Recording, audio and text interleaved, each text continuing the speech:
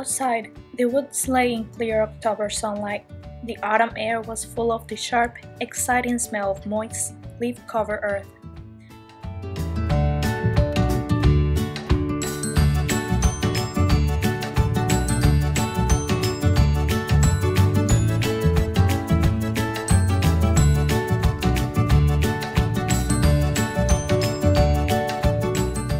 Two men were standing outside the cabin.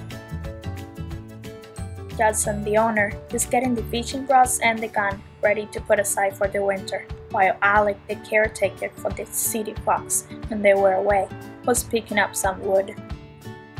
On the other hand, inside the house, Mabel, the owner's wife, was packing for the winter, and Cindy, Alec's wife, was helping her. Judson crossed to a closet set in the wall. It was a special closet to keep fishing rods and liquor. Judson Webb was very possessive when it came to his possessions, and became furious if they were touched by any hands but his own. I don't remember drinking this. Who dared to take some? Everything is packed, Judson. Hasn't Alan come to turn off the water and get the keys? He's down at the lake taking the boats out of the water. He said he'll be back in half an hour. Judson, you're not thinking about drinking at this time of the morning, are you? You're wrong, my dear. I'm not taking anything out of this bottle. I'm just putting something in it. Whoever broke into my closet last winter and stole my liquor will probably do it once we were out.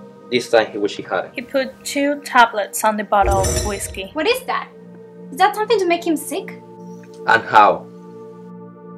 Everything nice and handy. Now, Mr. Thief, when you break in, have a good drink. I will not be deny this one to you. Don't do it, Judson. It's horrible. It's murder. The law doesn't call it murder if I shoot a thief who is entering house by force. Also, the use of poison rat is forbidden. The only way any rat can get to this closet is to break in. If what happens next is nothing to do with me. Don't do it, Judson, please. The law doesn't punish burglary by death. So what right do you have? When it comes to protect my property, I make my own laws. But all they did was steal a little liquor. Probably some boys in a lark. They didn't cause any real damage.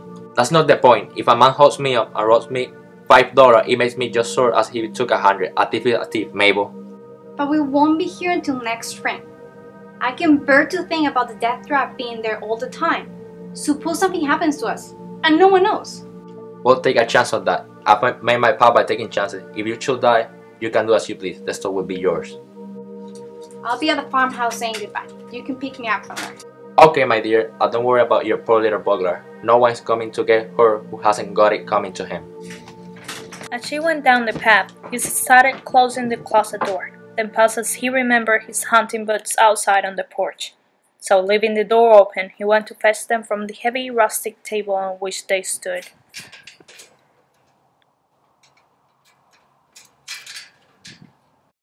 I need to tell you something. What happened? Hey, Alec, are you seeing my... Mr. Johnson! Mr. Johnson! Several minutes later, he began to regain his senses.